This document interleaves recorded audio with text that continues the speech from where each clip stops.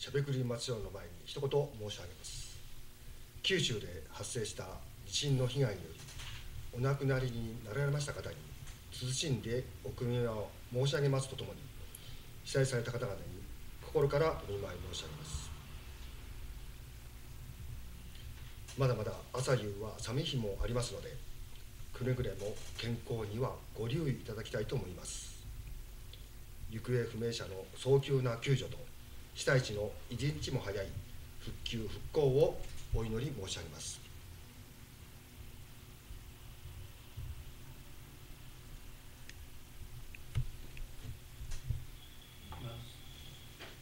こんばんは。はい、えー、第286回しゃべくり松代です、えー今日のパーソナリティを務めさせていただきます西澤です。よろしくお願いいたします。今、えー代表の方からもお話がありました。本当にあの大きな地震があって、えー私たちも心を痛めております。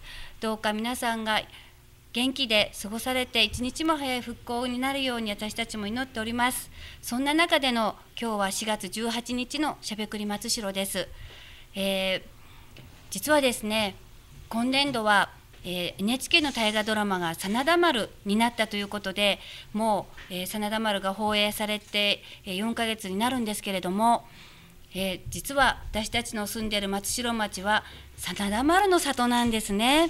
はい、真田、えー信繁幸村のお兄さんの、えー信行が、えーここにお城を作ってですね、えー今14代まで続いている、えー城下町なんです。その、え松代で今新たなるプロジェクトを始めた方を今日はゲストにお招きいたしております、えー小松姫プロジェクトの代表の松野義邦さんです。松野さんこんばんは。こんばんは。今日はよろしくお願いいたします、はい、よろしくお願いします。もうあの松野さんとねあの偶然あのお会いして、えー松野さんがさ小松姫プロジェクトをね始められたってことを聞いて私はぜひねここであのお話ししていただきたいなと思って今日が実現したんですがもう時間がないので早速いっちゃいますが松野さんね NHK 真田丸昨日ご覧になりました？見ましたよ。見ましたね毎回二度見てます。二度見素晴らしいどうも予告編でちらっと小松姫がもう次の回に登場します。小松姫ね、次の回に登場するということで松野さんがその小松姫プロジェクトを始めようと思ったのはどんなわけがあったんでしょうか？そうですね。毎年 NHK 大河ドラマは人気を呼んでね、えその地方が観光地になっていくと。はいいうことで毎毎年私もそええの観光の案内の方をや,、やってますんでね。お仕事でえね、えはい、で今回えー55作目ようやく信州のヒーロー、真田幸村いわゆる信繁ですね、はい。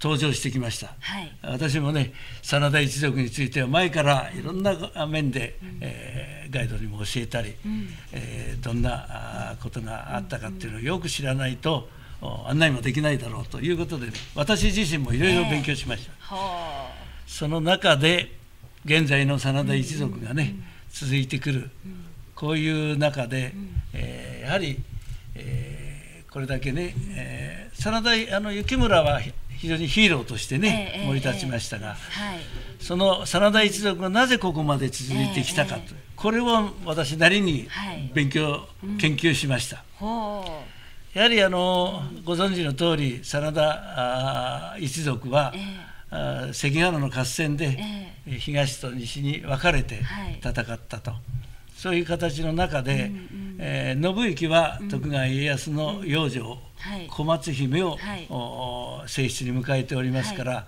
徳川う、方。徳川、はい、それからあー石田三成の豊臣方の方へは、あのゆ正行幸村がね、はい。ついて、はい。でご存知の関ヶ原1600年にね、起きた。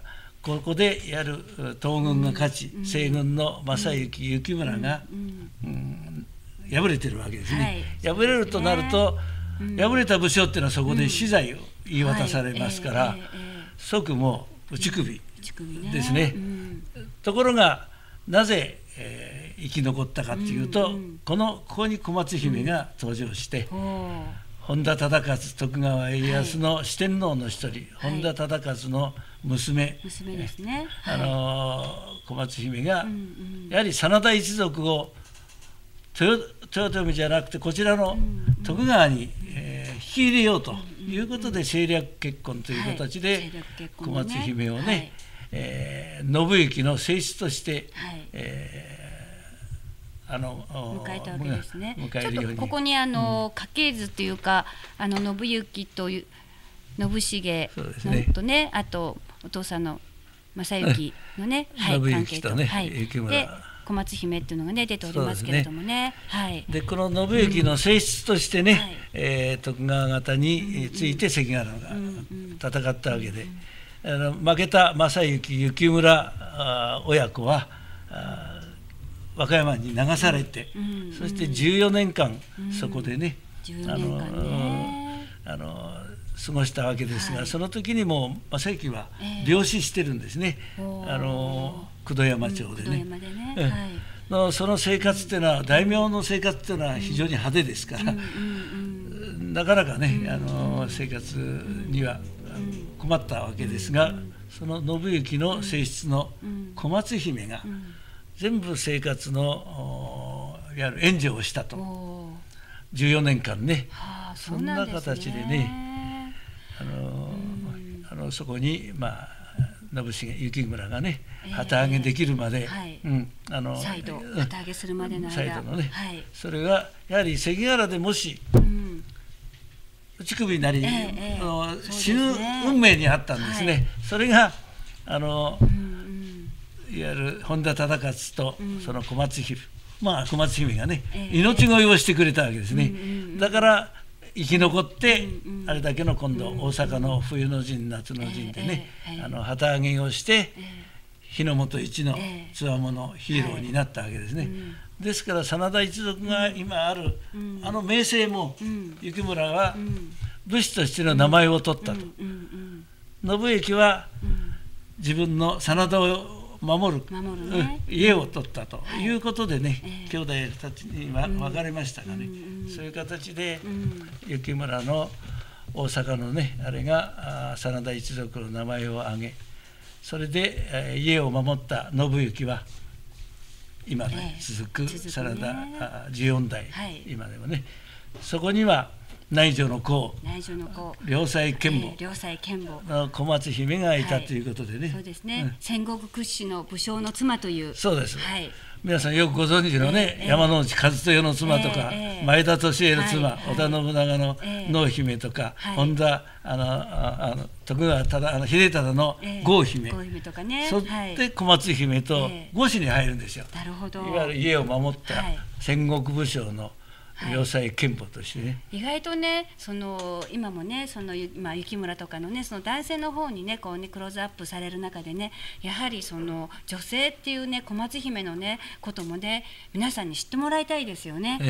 ええ案外なんか私も松代にうん十年住んでおりますけれども小松姫という名前は知っててもねなかなかその小松姫がねどんなにねやっぱり功績を残したかというところは意外とあの町民でも知ってるようで知らないので。そうです。それを私はね、い。もうえ必ずあのフィーバーしますよと いうことで新年でね、はい。そして小松姫に特化したええ。グッズを、グッズを。あの、はいあ小松姫のね、はい。えーお守りとして持っていたはい。数珠とかね、ええ扇とか、はい。そういうものを携帯スですねトラップから、はいこんこんなはいこれストラップですね。これはえキーホルダーですね、はい。それとえっとこれがマグネットでこっちがバッジ缶バッジですね、ええ。でそれとこれもえっとストラップですね、はい。でこんなあのシールもねこう作っておられたりとか、このあのシールのこの肖像画が実は松代の大英寺のね、ここにしか、ない。ここちらにありますね。ね今日持ってきていただいて。大英寺にしかない、はいあの掛け軸でね、掛け軸でね。これがあの私も鎌倉住職さんと親しくしてたもんで、ええあこの肖像画はうん。必ずねええ。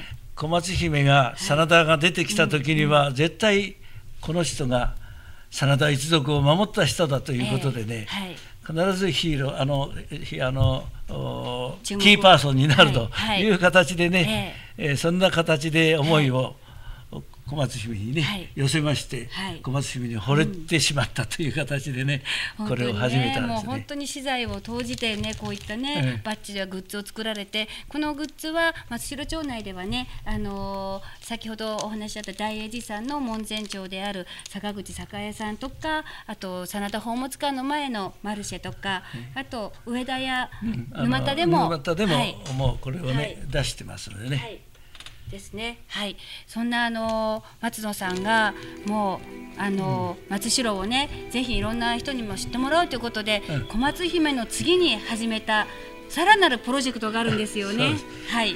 やはりこの小松姫もやはり町おこしの一つでやったんですが、はいはいさらに私はねこの今流れて地。元はい。にあった真田節をね、はい全国レベルまでだろ出そうとこういうことでね、えー昔はあのレコードカセットにしかなかったんですけど、はい今度は CD で、ええあの、えー真田節と真田節をうん霧の川中島をはい出します。ちょっと聞いてみますか？そうですねはい。もう。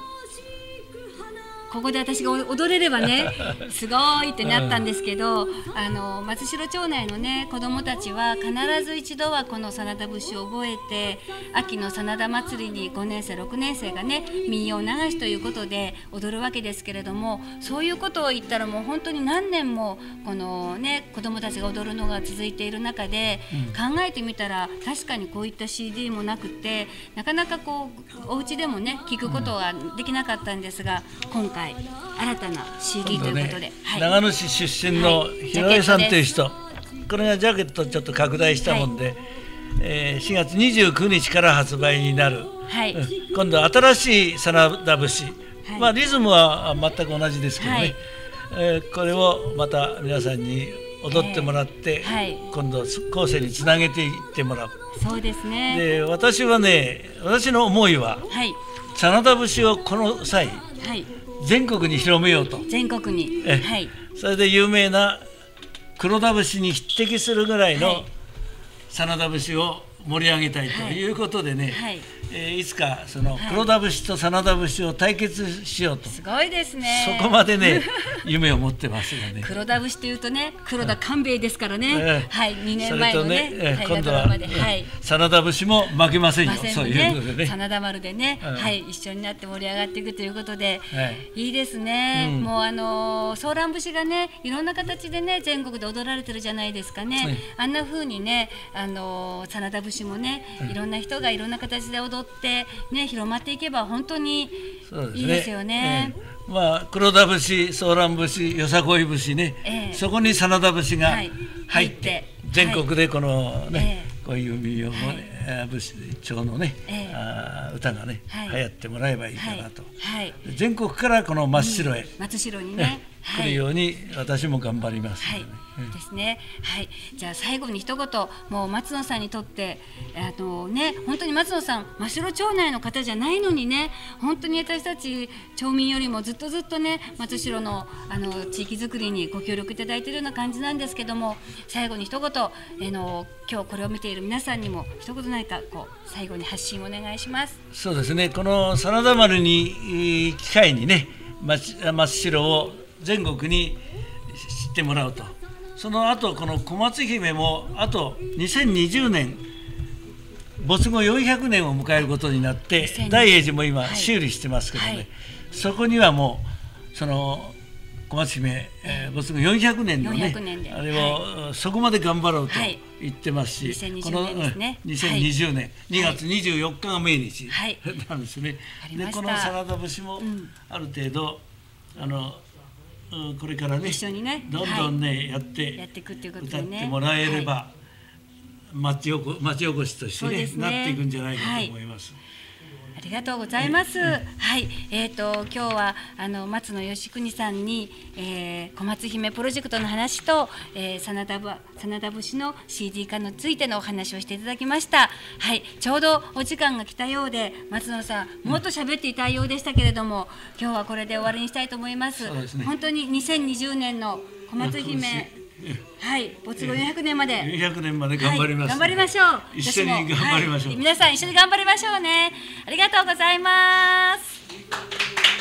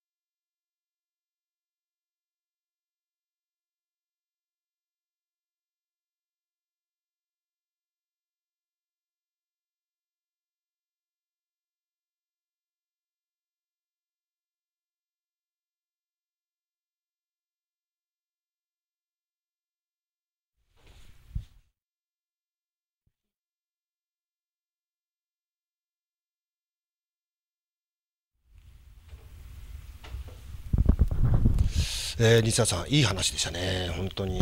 小松姫のフィーバーするといいですよね。そうですね。もう女性ですから、そうですね。女性頑張らないといけないです。はい。ということでね、ええ。話は変わりますけれども、先ほどね、冒頭私も申し上げたんですけど、はい。何か西澤さんの方からもお話あるみたはいいな。んですが、、そうですね。宮坂さん先ほどね本当にあの地震のことをあの皆さんにねお伝えしていただいたんですけど実はこう私たちやってるこの住民ディレクターの活動なんですけどこの住民ディレクターの活動を始められた岸本明さんっていうね方があのいらっしゃるんですけどなんと岸本さんが震源地となった増木町の、ね。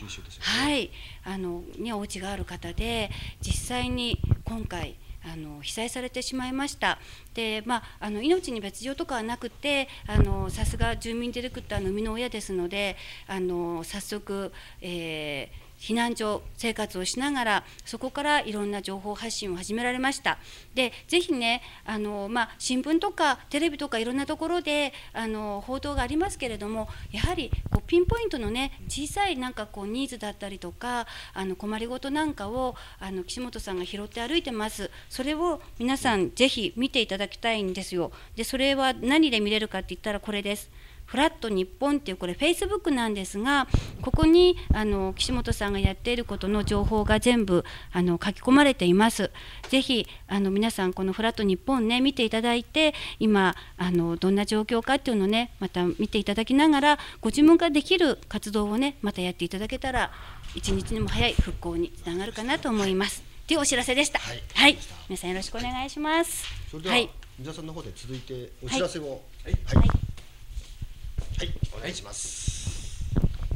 そうしましたらですね、やっぱりあの真田丸っていう感じでね、えー史跡を巡るというので、この20日の日ですけれどね、えー自転車で巡るっていう、ね、えー端から端まで行っちゃいますよっていう形で、いいしいいね。いいだと思います。あ千曲川のね土手を走るって。えちょっと話聞いてくれる？ね、えーそういう形でぜひね、えー参加していただければいいなと思いますね。えーそういうことでよろしくお願いします。はいじゃあそれでは皆さん、はい来週、はい、来週、はい、はい本人ええ本人来てる、本人さっき今喋った、あああ一緒に、はい、はい、はい、また登場、はい、また登場です。はい、はいちょっと持って。はい。珍しく2週間続けて私が、はい、パーソナリティです。あのーもう全国に有名なあの諏訪大社の御柱、実はねあれは諏訪岳じゃないんですよ。知ってますよ。知ってますよね。はい、あの長野も諏訪大社ゆかりの神社がいっぱいあって、松代もいっぱいあります。もうね、あのーえっとやっているところも終わってしまったところもあるんですが、これこちらですね。えっと4月の30日と5月1日で松代は確か。御柱引くんですよねで、えー、とその御柱の時に出汁をね皆さんが作っておられるということでその出汁を作っておられる皆さんをあのゲストにお招きしてちょっとお話を聞きたい。はい。もう御柱は何年に1回？えっ、とね、数えで7年、数えて7年に1回なんですね、はい。万で6年。万で6年に1回の放送ですからね。また。私も見に行ってきましたよ。あ行きましたか。ははい。い、じゃあまたね、じ次週皆さんまた御柱ですから見ていただいて。はい。はい、よろしくお願いします、は来週のしゃべくり祭りをどうぞお楽しみに。お楽しみに